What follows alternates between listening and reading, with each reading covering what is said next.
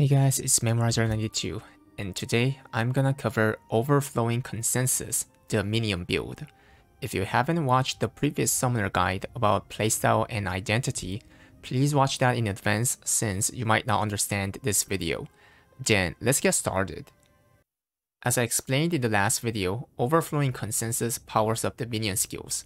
It increases duration time, damage, attack speed, movement speed and reduces secondary skills cooldown. Because of this, this build uses lots of minion skills, and the DPS heavily relies on how often the minions are in the field. Let's go over to the gears and stats. For the gears, Hallucination Set is the meta since Summoner doesn't have high crit rate. For the stats, Swiftness is the main stat and crit is the substat. Swiftness is important for this minion build since you want to rotate minion skills as soon as possible when the duration time ends. Okay, skills. Pauru. This skill summons a fire type dog called Pauru. It gets affected by overflowing consensus class engraving. First tripod increases his damage. Second increases his damage as well. Third increases his attack speed, movement speed, and vision. It also let you to use secondary skill by clicking it again.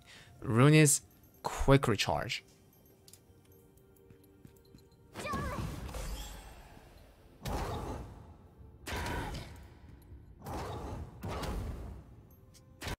Elcid. This skill summons two humanized plants called Elcid. It gets affected by overflowing consensus class engraving. First tripod increases mana consumption, but also increases summoner's attack by over 40% for 5 seconds. Second allows Elcid to pierce the shots and apply debuff on the mob that increases her damage over the time. Third makes only one Elcid instead of two, but increases damage and shot distance by a lot. Rune is Judgment.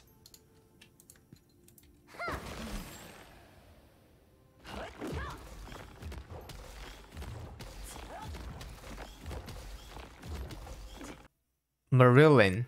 This skill summons a bear called Marilyn. It gets affected by Overflowing Consensus class engraving. First tripod increases his attack. Second allows you to use secondary skill. Third one increases his duration time by a lot. Rune is Quick Recharge.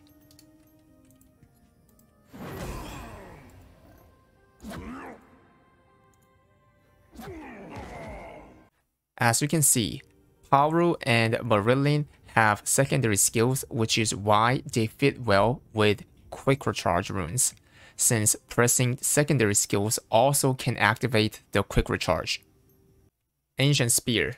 This is a casting skill that strikes a spear which does a lot of damage. First tripod reduces cooldown by a lot. Second changes the attribute to fire and increases damage. Third one decreases the damage by a bit, but strikes 3 spears instead. Rune is Galewind.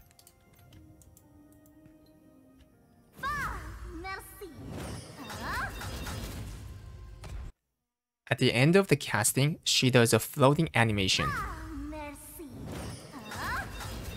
And it is pretty long, but you can cancel that animation by using first, second, or fifth identity skill almost at the end of the casting, just like this.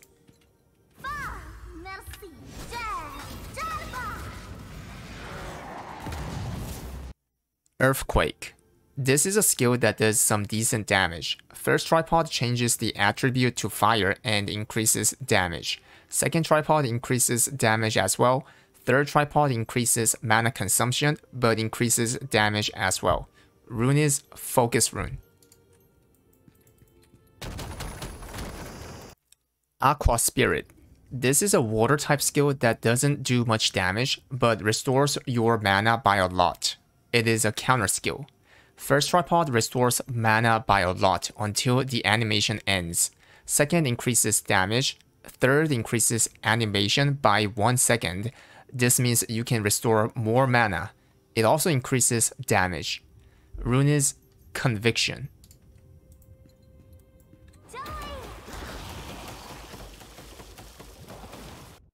Shruti. This skill summons a light that always stick to you called Shruti. Not only it does some damage, but also gives you crit rate increase on duration time. It gets affected by overflowing consensus class engraving. First tripod increases summoner's crit rate almost by 12% on duration time. Second increases Shruti's shot distance and reduces shot interval.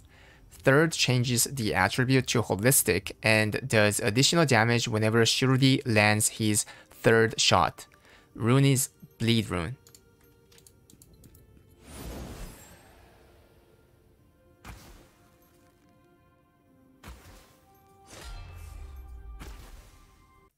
Sticky Swamp. This is a party synergy skill. First tripod increases mana consumption, but also increases summoner's attack by over 40% for 5 seconds. Second applies 12% armor break party synergy for 16 seconds. Rune is Focus Rune.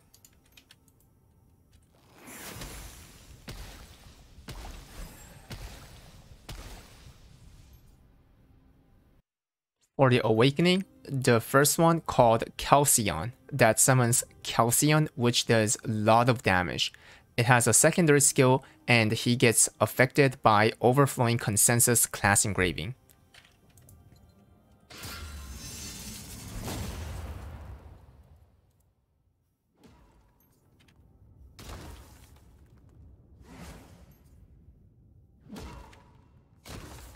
Well, you can see that 416 skill points are used in KR.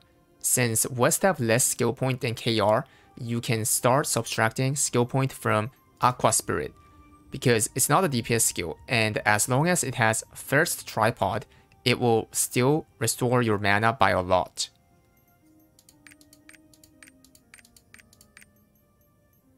For the tripod upgrade, everything except for the Aqua Spirits tripod is important to upgrade. You can see that all three tripods on Pauru, Elcid, Marilyn, Ancient Spear, Earthquake is important. So that's 5 times 3, which is 15. And if you see Shruti, there's two tripods that has to be maxed, that's 17. And last one is from the Sticky Swamp, this one. So no need to upgrade the tripods in Aqua Spirit. Okay, this time engravings. There are two meta builds. First one is Grudge, Keen Blunt, Adrenaline, Raid Captain, and Overflowing Consensus. Second one is dropping Adrenaline to level 2 and adding the other class engraving called Advanced Summoner at level 1. Well, Summoner used to use double class engraving before the patch, but you don't need to after the latest balance patch. That's gonna happen in November for you guys. If you want to run both because of advanced animation of identity skills like this, then you can run the second one right here. There is no big difference in DPS. Summoner needs high crit, so running level 2 or 3 Adrenaline is important. And because she can reach over 60% crit rate easily thanks to crit stat, hallucination set, Shruti's buff, and Adrenaline, Keen Blunt gives higher damage compared to Curse Doll or Hitmaster. If Keen Blunt is expensive, then you can run the other two instead of Keen Blunt.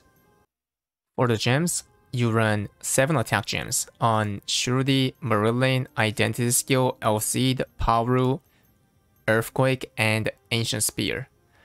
And for the rest of the 4 cooldown reduction gems, you run it on Elcid, Earthquake, Ancient Spear, and Sticky Swamp. Lastly, the rotation. As I said in the previous video, whenever you use the skills, it will fill up the identity meter, which allows you to use identity skills. The skill you want to use for DPS is the fifth one called Akir, since it does the most damage.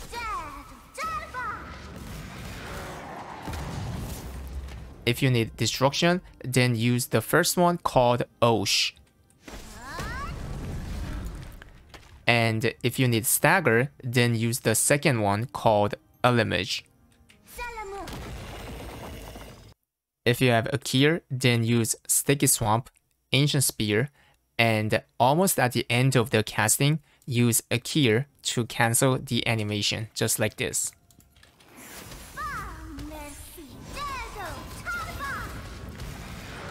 If you don't have Akir, then use Sticky Swamp and then Ancient Spear.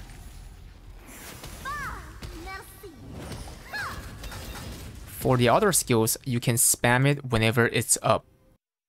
By the way, all the minion skills except for Elcid and Shruti follows you as you move on, like this. But you can simply press shift key to move them where your pointer is at.